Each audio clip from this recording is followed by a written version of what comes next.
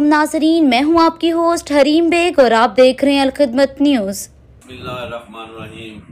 मैं वसीम चौधरी, सबक chairman, union council बुकाड़ा पाकिस्तान में होने वाले 9 मई 2023 के वाक़ात की भरपूर मजम्मत करता हूँ।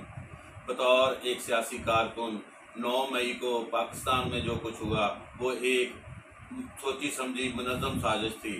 मैं बतौर सियासी कारकुन इस वाक़ात की भरपूर मजम्मत करता हूँ। मैं उकाड़ा में पाकिस्तान तहरीक इंसाफ के जिन अहदों पर काम करता था। मैं इस वाक़े की मजम्मत करते हुए उनसे रिज़ाइन करता हूँ। मैं पाक फ़ौज के साथ हूँ। मैं आज भी पाक फ़ौज के साथ हूँ। कल भी पाक फ़ौज के साथ रहूँगा। इन ताला पाकिस्तान जिंदाबाद, पाक फ़ौज जिंदाबाद।